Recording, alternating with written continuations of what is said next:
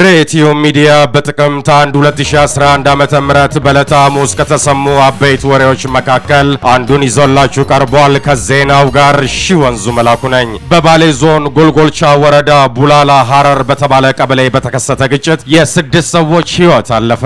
በባሌ ዞን ጎልጎልቻ ወረዳ ቡላላ ሐረር በተባለ ቀበሌ መስከረም 28 ቀን 2011 ዓመተ ምህረት በተከሰተ ግጭት የስድስት ሰዎች ሕይወት ማለፉን ፖሊስ ገልጿል። የጎልጎልቻ ወረዳ ፖሊስ ጽሕፈት ቤት ለኢዜአ እንደገለጸው የግጭቱ መነሻ የአካባቢውን ኢንቨስትመንት እንቅስቃሴ አስተጓጉሏል በሚል የተጠረጠሩ ግለሰቦችን የፍርድ ቤት ማዘዣ በማውጣት ለሕግ ለማቅረብ ጥረት ሲያደርጉ በነበሩ የጸጥታ አካላትና ሁኔታውን በተቃወሙ የአካባቢው ነዋሪዎች መካከል በተቀሰቀሰ ግጭት ነው። በግጭቱ ሕይወታቸው ካለፉ የአካባቢው ነዋሪዎች በተጨማሪ ችግሩን ለማረጋጋት ወደ ቦታው በተንቀሳቀሱ የአገር መከላከያ ሰራዊትና የአካባቢ ፖሊስ አባላት ላይ የመቁሰል አደጋ ደርሷል። ፖሊስ በቀበሌው በተጠረጠሩ ሰዎች ላይ ባደረገው ፍተሻ ሕገወጥ የጦር መሳሪያ ማግኘቱን አስታውቋል። በአሁኑ ወቅት የአገር መከላከያ ሰራዊት ተወካዮች ከአካባቢው ማህበረሰብ ጋር በመሆን በጉዳዩ ዙሪያ ውይይት እያደረጉ ነው ሲል የዘገበው ኢዜአ ነው።